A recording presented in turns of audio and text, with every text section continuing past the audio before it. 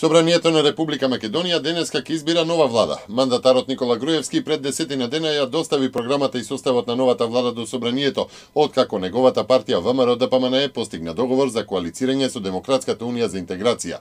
ВМРО ДПМНЕ и ДУИ ја продолжуваат коалицијата и повторно заедно формираат влада. Во програмата на новата влада што Груевски ја достави до Собранието заедно со предлог новиот владин состав се наведува дека во периодот 2014-2018 година владата останува на утврдениот курс за остварување на стратешките приоритети и цели на Република Македонија. А за денеска беше закажано првото рочиште за судскиот спор во кој Груевскиот заев бара одштета од половина милион евра за претрпена душевна болка, предизвикана од обвинувањата дека при продажбата на Македонска банка посредувал и побарал 1,5 милиони евра. Обвинувањата со кои располагаше опозицијата беа доставени до јавното обвинителство, кое се уште работи на расветлување на случајот. Во врска пак со подадената рака од ВМРО да ДПМНЕ и прифатената покана за средба од СДСМ, иако предложено за утре, се чека опозицијата да каже кога би се одржала средбата Груевски заев. Од ВМРО да ДПМНЕ посочија дека имаат разбирање како велат дека на СДСМ му е многу важно подадената рака од ВМРО да ДПМНЕ да ја прикаже како надворешен притисок, а тие дека се некакви победници и дека не прифатиле никаков притисок. Во тој правец, помагајќи да се чувствуваат позадоволни, терминот на средбата ќе го препуштиме да го одредат тие. Нека тоа биде еден мал мал придонес на ВМРО да ДПМН за зголемување на авторитетот на ова раководство на СДСМ пред се внатре во собствената партија, стои во сообщението на ВМРО да ДПМН.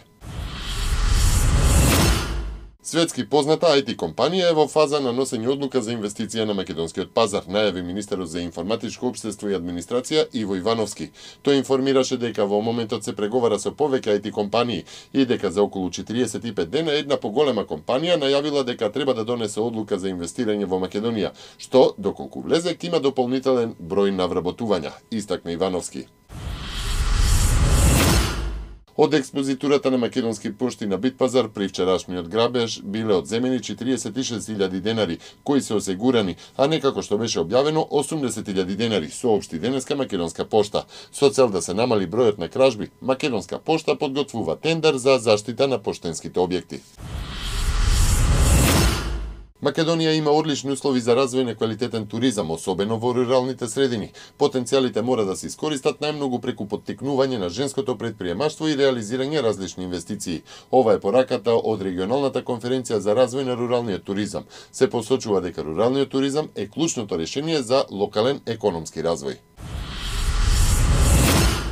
Проектот за изградба на гасоводот Јужен Тек не е откажан, туку е привремено стопиран се додека не одговори на законските барања на Европската Унија, изјави Еврокомесарот за енергетика Гинтер Етингер. Чешкиот шеф на дипломатијата Љубомир Заоралек од Киев изјави дека Чешка и Европската унија не сакаат да водат економска војна со Русија и подржуваат дипломатско решение за кризата во Украина.